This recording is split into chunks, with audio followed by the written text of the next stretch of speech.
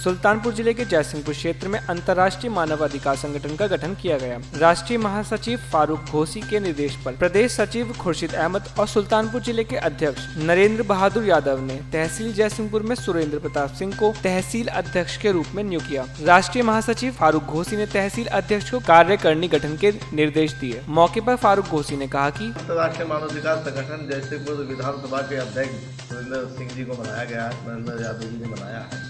ये हम जो संयुक्त के तीस अधिकार हैं, जो लोगों के सभी देशों ने मिलकर बनाए हुए उस अधिकारों पर लोगों की जागरूकता लाना, लोग उसके ऊपर अन्याय हो रहा है तो अन्याय को रोकना, लोगों को शिक्षित करना एक हिसाब से कि आपका अधिकार क्या है।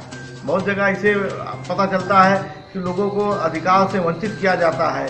कहीं कहीं थानों में दिक्कत हो जाती है, तहसीलों में दिक्कत हो जाती है अभी आप देखे होंगे, धान की लोगों की फ़सल चल रही है, और काला बाजारी काफ़ी जोरों पे वहाँ चालू है। कोई बोल रहा है बारह रुपये में दे दो, दस रुपये में दे दो, लेवी पे अट्ठारह सौ, अड़सठ रुपया है, लेकिन वहाँ अभी दे ही नहीं रहे हैं। तो लोगों की जो किसान का सबसे बड़ा मुद्दा है कि लोगों को जो कानून बना हुआ है, जो सरकार ने योजनाएँ बनाई हुई है, उसका लाभ कैसे लोगों को मिल जाए?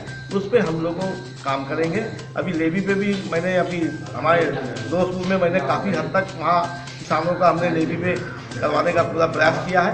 उसी तरह मैं चाहूँगा कि जयसिंहपुर हुआ या पूरे जिलों में हो कि लेवी पे धान लेना चालू है जो किसान का जो है, जाके उनसे